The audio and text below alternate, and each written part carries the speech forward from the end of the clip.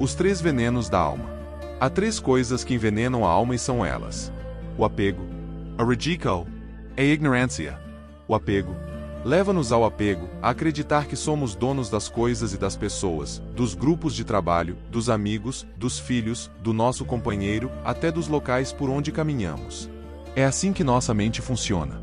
Então, segurando tudo, El apego genera celos, agresiones a los demás por creer que nos van a quitar lo que creemos que es nuestro, porque en realidad nada nos pertenece, ni siquiera somos dueños de nuestro cuerpo, porque hemos de dejarlo atrás en el momento de amor. O apego é fonte de sofrimento porque ignoramos a primeira grande e nobre verdade. Tudo é impermanente. E se as coisas são impermanentes, qual é o sentido de nos apegarmos a algo que temos certeza que irá desaparecer? Exemplo: um casamento que acabou há muito tempo sofre durante anos. Você apenas tem que aceitar que as pessoas têm o direito de mudar de ideia. Como nós mesmos, talvez antes não gostávamos de alguma coisa e agora gostamos, e dizemos isso com espanto quando conversamos com amigos. Dizemos: Eu não gostava de pizza antes e agora adoro.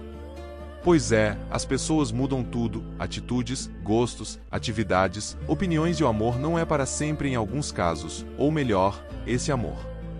Quando você desapega daquilo que nunca foi seu, a sensação de bem-estar é indescritível.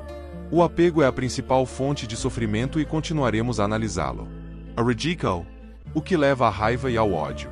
Querer que algo não exista, querer tirar algo da nossa vida é inútil, porque faça o que fizer, o que te incomoda vai estar lá. Talvez aquele vizinho nos incomode, mas longe de entrar em conflito com aquela pessoa, o que devemos fazer é descobrir por que ela te causa tanto desconforto. Que coisas você está projetando nele que são suas? E você não pode eliminar essas suas coisas, você vai ter que aprender a conviver com elas. A rejeição é a outra fonte de sofrimento infinito. Ignorância. Não conhecendo as leis universais. Não sabendo que se você causar dano, esse dano retornará de alguma forma para você mesmo.